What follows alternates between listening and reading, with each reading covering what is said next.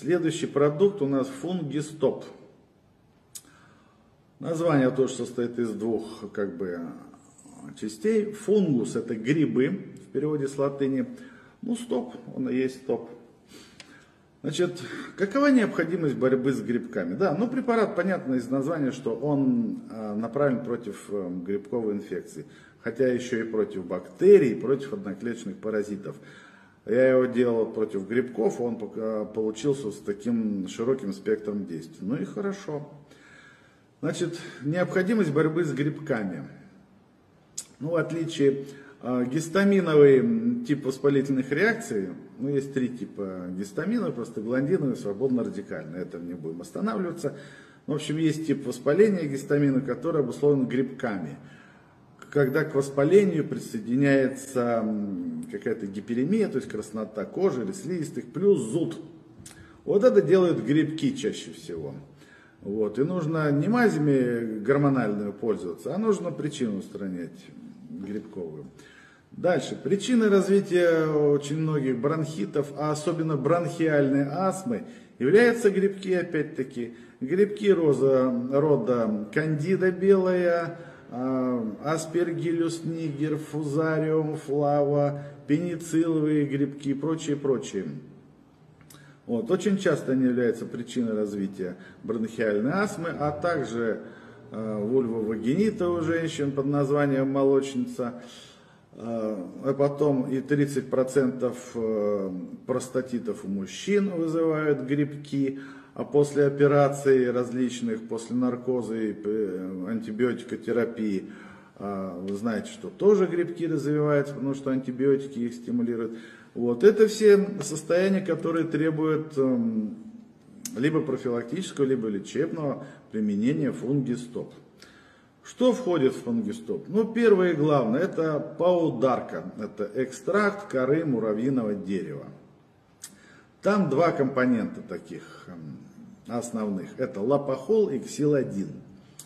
Лапохол угнетает рост, размножение грамотрицательных и грамположительных бактерий.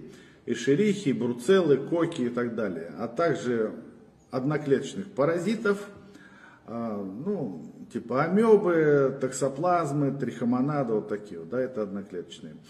Вот. А второй компонент, ксилодин, он активирует синтез иммуноглобулина А, это белок иммунной системы, который угнетает рост грибков, он их убивает. Вот два этих компонента по ударке обуславливают очень широкий спектр воздействия. Да? Дальше, экстракт оливы. Вещество называется олеуропенин.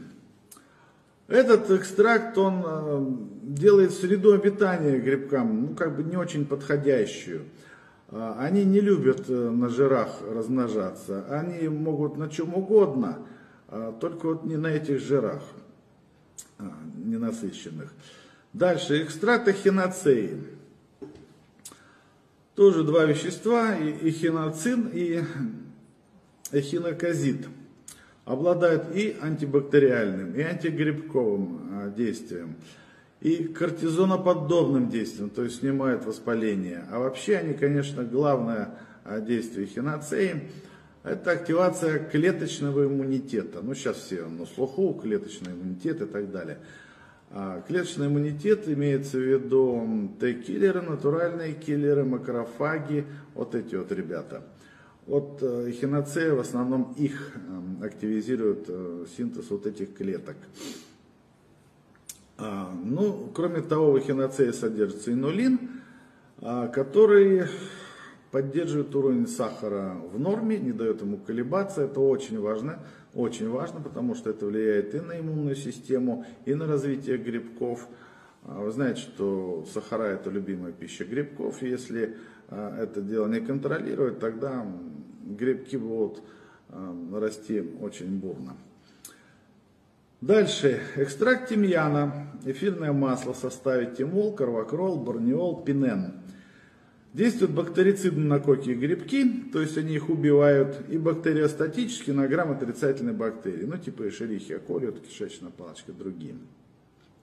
Но это в поддержку по ударке, да. Дальше, прополис, друзья, ну всем известный прополис. Про прополис можно отдельную лекцию читать, Там очень много чего полезного для поддержки организма и в борьбе с грибками, и в поддержке иммунной системы, и вообще.